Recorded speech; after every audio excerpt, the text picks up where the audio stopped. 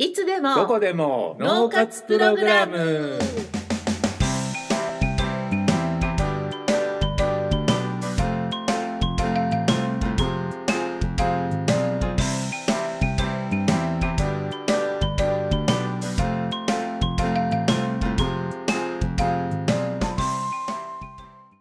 新聞でボール転がし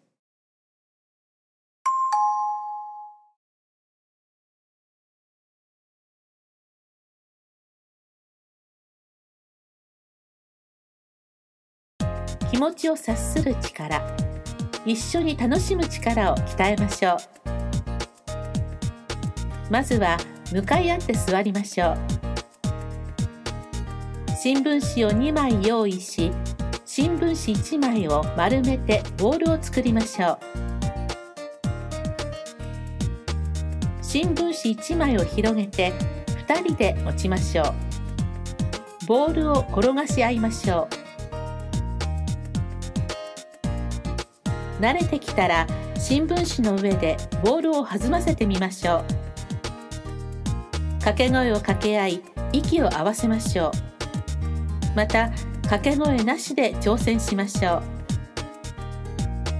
う。ボールが落ちても慌てて動かないように注意しましょう。